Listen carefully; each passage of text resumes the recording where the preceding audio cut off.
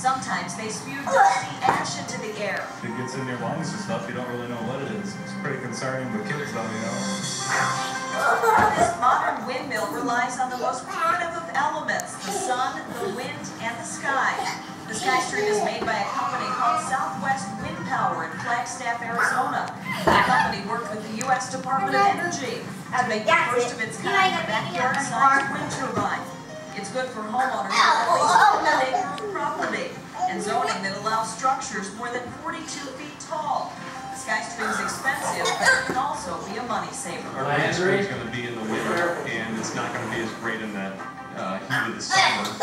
But since it's a grid tie system, you're not relying on the wind by itself. And so when you are producing, you're getting full credit. The Thebrids also save money by using compact fluorescent light bulbs, which draw 25% of the electricity used by regular bulbs. They're the first family in southeast Michigan to have a hookup like this, and as you can see, it's made them pretty popular with their neighbors. I think it's fantastic, and we're gonna get one. This wind, puts money in your pocket when that plane goes. Alternative fuel and alternative power is, uh, it's the wave of the future. It's a trend. It's, um, it's healthy. It has long-term rewards as well as immediate rewards. Jason Thebrid is an electrician by trade, but he believes in this technology so much, he started his own alternative energy business about a year ago. Several states, including California, Texas, Pennsylvania, and Nevada, offer tax incentives for people who invest in wind or solar powered systems. With the Fox Energy Report, I'm Robin Schwartz.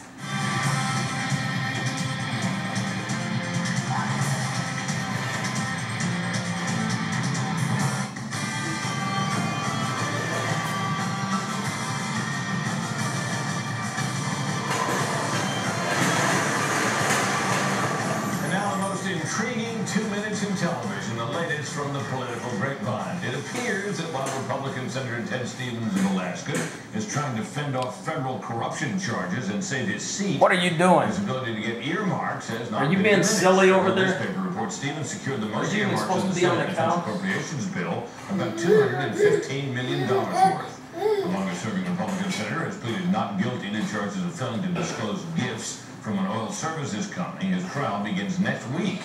Stevens is hoping to clear his name before he faces Anchorage Mayor Mark Begich in the November election. Some Democratic lawmakers are taking Republicans to task for the current economic climate, saying the repeal of part of the old Glass-Steagall Act under a Republican Congress back in 1999 is to blame. Law that, among other things, separated commercial and investment banking.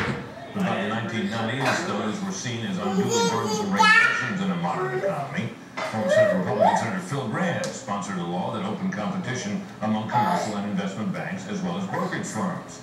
Senator Harry Reid today took a shot at Gramm, who is now a McCain economic advisor. Quote, this is the same Phil Gramm who pushed through the legislation that now allows Wall Street traders to bid up the price of oil without oversight.